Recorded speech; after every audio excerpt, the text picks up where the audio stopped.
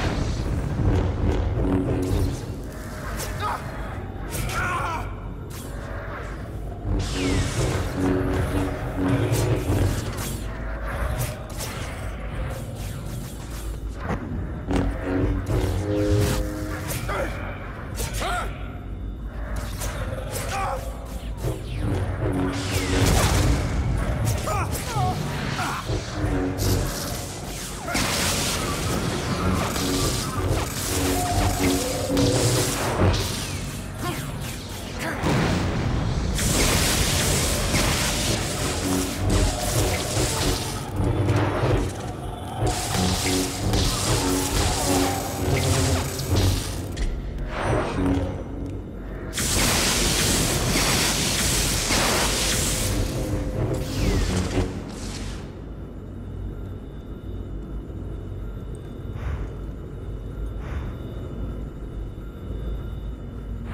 is this place?